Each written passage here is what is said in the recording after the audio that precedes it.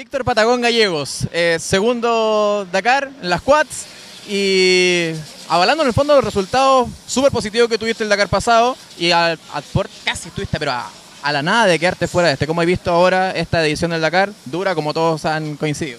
Sí, la verdad es que este año pensé que podía ser un poquito más fácil por todo, pero la verdad que seguimos igual que el año pasado, con puro problema, sino solo neumáticos. Hoy día se me cortó la cadena, siendo que la cadena era nueva, la pusimos ayer una cadena nueva. Y seguramente se metió una piedra, algo, mala suerte porque no pasa nunca. Y bueno, así es esto, así es el Dakar. eh, y lamentable porque me ha ido haciendo perder tiempo y la verdad que el, objetivo era mejorar el, lugar del año pasado y, cada vez se está complicando más.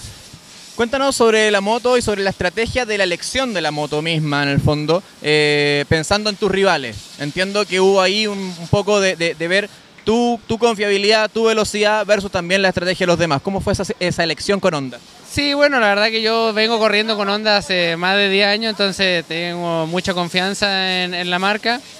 Y lamentablemente eh, Honda es la, única moto que tiene eh, que está eh, fabricando en estos momentos es el 450, el 700 se dejó fabricar en el 2009, entonces ya es muy complicado poder conseguir un, un Honda 700 nuevo.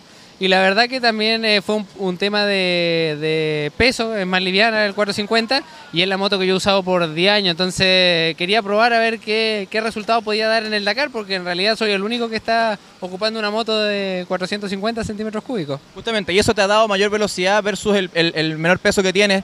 ¿Cómo, cómo ha funcionado en el fondo esa estrategia eh, versus otros pilotos, como decía, que están corriendo en 700 y probablemente tengan mayor fiabilidad, pero no velocidad final?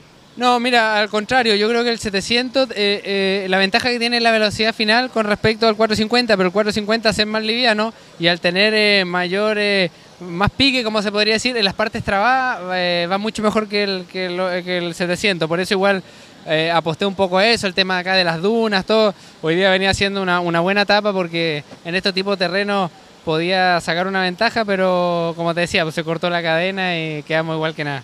Mala suerte esa parte. ¿Crees que las etapas que se vienen, que son más desiertos, que son en Chile en el fondo, te puedan favorecer y poder eh, recuperar el- tiempo perdido en el fondo por la mala suerte de la, de la etapa anterior? Eso nunca se sabe. Puede- mañana capaz que también puede pasar algo. El tema de los neumáticos, hay mucha piedra. De repente un poquito de suerte que, que no pinchas o no te pasa nada. Entonces la verdad que es difícil saberlo. Ojalá de aquí empiece a mejorar como fue el año pasado, que igual tuve problemas como hasta la quinta etapa y de ahí ya fue saliendo todo más, más bonito y dándose los resultados. Víctor Patagón Gallegos, te felicitamos por encontrarnos ya aquí en Chile, ya en Copiapó, y esperamos verte en el podio. Bueno, ojalá, pues, ojalá, la verdad que está, cada día está más complicado, pero vamos a dar la pelea hasta, el- hasta, el último, hasta la última etapa. Tranqui, está complicado para todos, así que en el podio te vamos a encontrar. Ya, pues, gracias.